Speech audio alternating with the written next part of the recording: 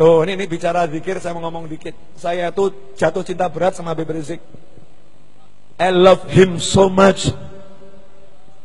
Habib Rizik, I love you so much. Kalau bahasanya itu yang tak gendong ke mana-mana itu apa itu? Mbak Surip, apa I love you apa? I love you full. Masalah cara berbeda ya gak apa-apa, atau ya caranya be beda. But I love him so much. Siapa yang nyakitin beliau nyakitin saya. Siapa ganggu beliau ganggu saya. Siapa nggak suka sama beliau, saya juga nggak suka sama dia.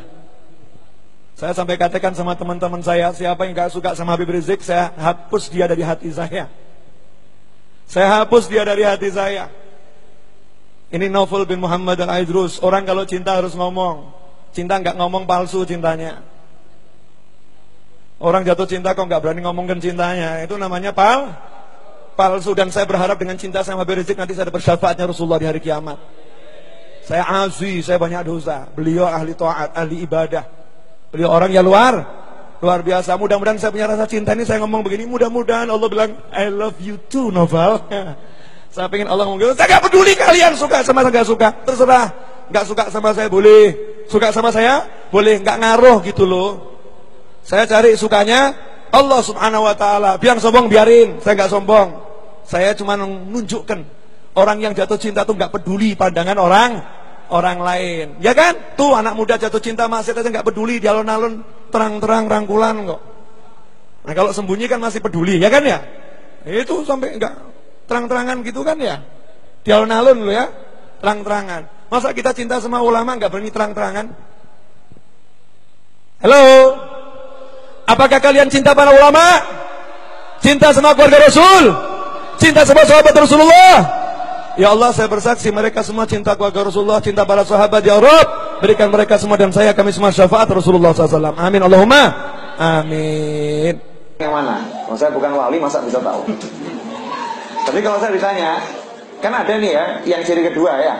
Nah, kalau kita lihat langsung ingatkan sama Allah Taala. Ya wali yang masih hidup kelihatan nyata ya Habib Rizik. Kalau saya ditanya Habib Novel menurut anda wali Allah yang masih hidup siapa? Ya Habib Rizik siapa itu? Enggak usah cari yang lain, itu kelihatan mata. La mata lain.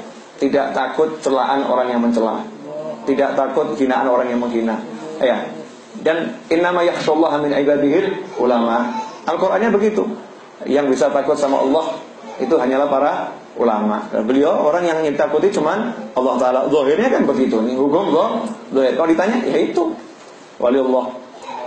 Siapa lagi? Walid itu. Ya. Hah?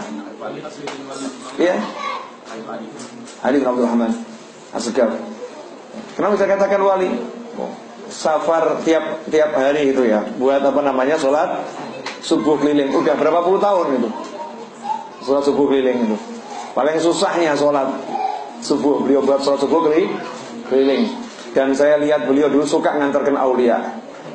Suka ngantarkan aulia. Kalau kita lihat Habib Abdul Qadir bin Ahmad Asgaf Jeddah itu itu Habib Ali uh, selalu ada di di sampingnya. Saya ada di sampingnya, di belakangnya, ngikutin gitu. Nah, kelihatan tuh yang masih masih hidup. Ya tergantung kita, kita mau sombong atau mau mau nundukkan diri. Kalau mau sombong dengan pandaimu, dengan gayamu, dengan hebatnya kamu berpikir, pandainya kamu berdalil, ya udah silahkan kamu nggak takut apa-apa.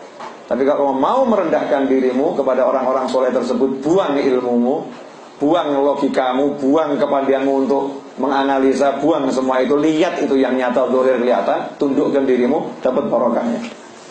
Ya, cuman Rasulullah SAW yang begitu aja, sekitarnya banyak nggak bisa lihat kok. Rasulullah yang sudah jelas seperti itu akhlaknya, gantengnya, pandainya, mujizatnya ya. Yang di sekitarnya banyak yang nggak bisa li lihat. Betul atau betul nih? Iya, maka wajar kalau ada orang soleh kok yang di sekitarnya nggak bisa lihat kesolehannya, nggak bisa lihat kewa kewaliannya, nggak bisa ini, nggak bisa ini, nggak cocok nih wali, nggak begitu wali, nggak cocok ini, hebat, ini bisa mengatakan nggak cocok dia wali, berarti dia lebih hebat dari wa wali. Bisa dipahami? Ya, ini secara ilmiah loh ya, bukan bukan apa nafsu. Jadi tinjauan secara il, ilmiah. Dan ilmiahnya Al-Quran mengatakan itu. Yang bisa takut kepada Allah hanyalah para ulama